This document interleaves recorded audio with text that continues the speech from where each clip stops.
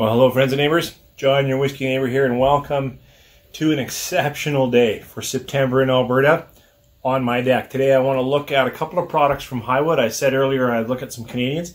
Uh, we're going to look at uh, Highwood Centennial Canadian Rye release. And after that, I'll take a, a quick peek at a special release. This was to commemorate the forming of the Saskatchewan Co-op in 1936, so it's a unique bottle but it's also from Highwood. We'll catch you after the break.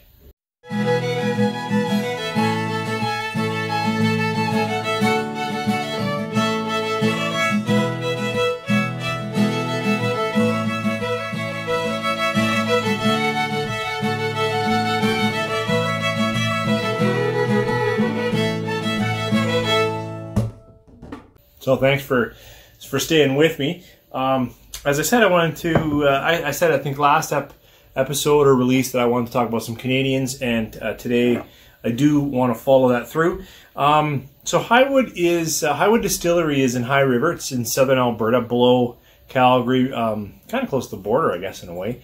But um, and they uh, they have uh, a wide product release, but I find uh, my comment might be that they don't kind of celebrate the identity of, of Highwood. Instead, they, they really push certain brands like 9020 is theirs, but I don't even know if you see Highwood on it anywhere. I really wish that they would celebrate, hey, uh, this is our distillery. Now, this bottle does say on the bottom Highwood Distillery, so I do appreciate that. Anyways, let's talk a bit about this bottle I have in my hand. I was getting ahead of myself. Uh, you know, this right on the front says Canadian Rye Whiskey, but if you're new to the channel or new to Canadian Whiskey, uh, you may not know that that doesn't mean it's a rye whiskey. In Canada, legally, we can call any legal whiskey, so uh, spirit, distilled, there's certain legalities, aged a minimum of three years. Uh, we can call it a rye whiskey even if there's no rye in the product. And I wrote um, the distillery, and they're actually quite good at getting back to me, and I really appreciate that. So thank you very much. Um, but I had a bit of a conversation back and forth with their their um, I think it was their brand rep, and even though this is labeled Canadian rye whiskey, it uh, really is a wheat and corn whiskey. That's all it is. There is no rye grain in this release. So, um, for me, we'll come back to it, but if you haven't heard, you know, it disappoints me that we still label products uh, in a way that I think an average consumer wouldn't understand. Uh, they wouldn't understand, oh, this is after a style of whiskey Canadian whiskey was known for rye, and so that's why we can call it rye.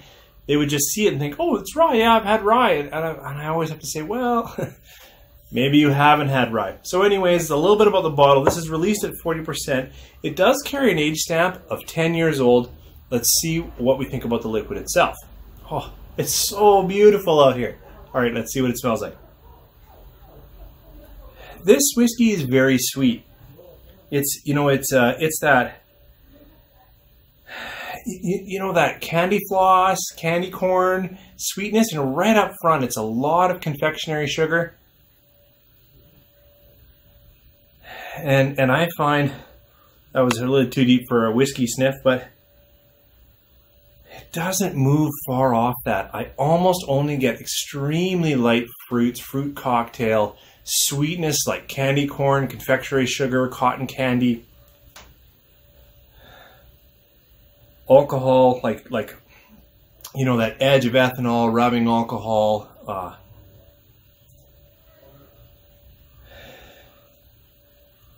and no spice on the nose, and really no oak or wood influence. Let's see how it tastes. Cheers.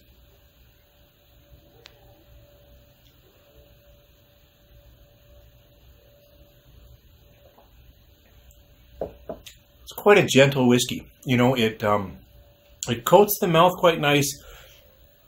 Leaves a little bit of spice, which I actually can appreciate, but that's not what comes up first. What comes up first is exactly what the nose.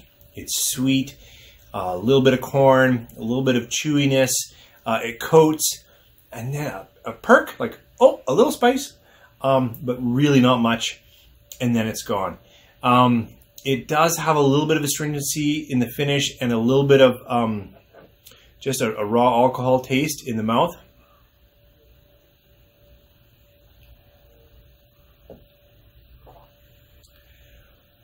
but but really, yeah, okay, a little bit of caramel, vanilla. Okay, that second sip, I got a little more, um, uh, a little more depth to the sugars.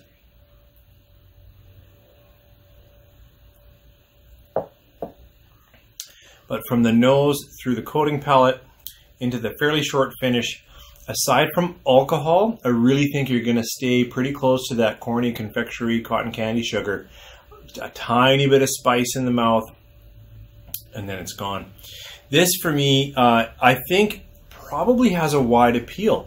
It's incredibly affordable. Uh, you know, this 350 was 13 bucks, and you can get a full uh, 750 ml full bottle for you know 24 23 dollars which you know makes it an incredibly easy purchase. I love the label. I love that it carries a 10 year age stamp. Um, but it falls short for anyone who's a sipping whiskey. Like if you're looking to to have something to have some character and some backbone and some oak influence, um, I'm afraid that this Centennial Canadian whiskey, I know Canadian rye whiskey, really falls short. And for me, it just doesn't get off three stars. It's actually pretty much less than that. I actually don't find it offensive, except two things. One, I really struggle that it carries the rye label and there's no rye grain. I find that really poor. And the second, it like I won't be buying this again. I know I should save that for my uh, recycled reviews, but it just it has no character to me. So it's a very forgettable whiskey. Sorry for that, Highwood. You guys do some other good things. This product for me isn't one of them. So that was my thoughts there. I'll clear my palate and then I'll talk about a special release. So I was in Saskatchewan. I always try to buy local wherever I am. And I saw this bottle, and you know, it's 1936 Canadian rye whiskey. Uh, and uh, and then co-op. So I called around. Oh, it's released at 45%, so more than the 40% of this.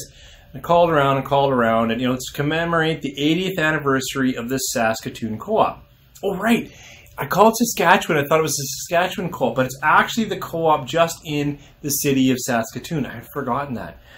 Interesting. Specially selected single barrel whiskeys.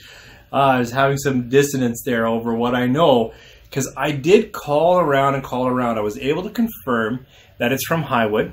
It does carry, you know, 45%, but it does carry an age stamp, says five years.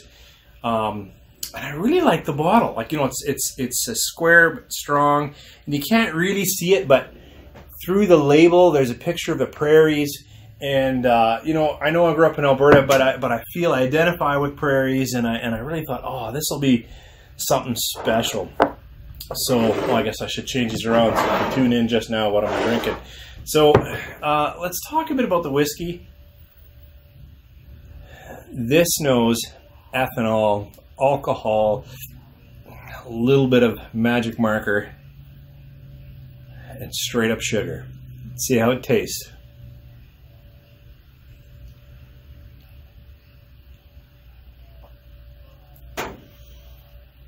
That new raw distillate taste. A hint of something else, another dimension, which makes me think that this might actually have rye in it. It's got um, you know, that bland sweetness, lots of alcohol. But then there's just a little something, just something right at the end.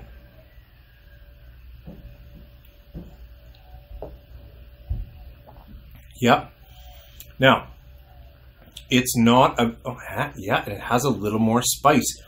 I was going to say it's almost on the edge of nutty, so maybe it's more some barley or something, but no, I really think I really think it's got some rye in it. I was unable to find exactly what it was, but it is pepperier, not like strongly, but it's just got a little more pepper, a little more almost a nut quality, and something else going on.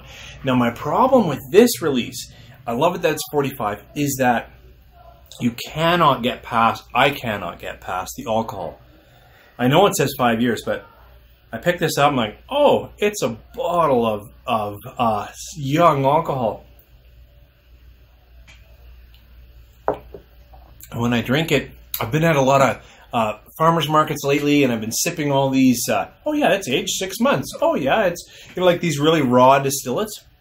it tastes a ton like a raw distillate, even though it's carrying a five-year age stamp. So um, this one really can't get off the mat at like two stars. It was absolutely a disappointing purchase, except that I hope in some strange way it supported the co-op in Saskatoon because I really uh, appreciate co-ops and what they do across the prairies. So my thoughts today were on two Highwood Canadian whiskeys. One, Centennial. It says Canadian rye whiskey, but there's no rye in it. Maybe three stars. The other was, you know, a special release for Saskatoon in Saskatchewan. Highly unlikely you're going to pick it up. Uh, it wasn't terribly expensive. I like that it's released at 45%, but this is like a two-star whiskey for me. I, I, I really regret buying it. So sorry, Highwood. Today your products are not getting up off the mat. I just can't recommend them for people that are looking for a sipping whiskey. I would say this, uh, the, the this one that's labeled rye, it, it would be okay for mixing or for people that really are looking for a soft experience. Thanks for joining me on this amazing September day for us in Alberta. Hope you guys are having a fantastic weekend.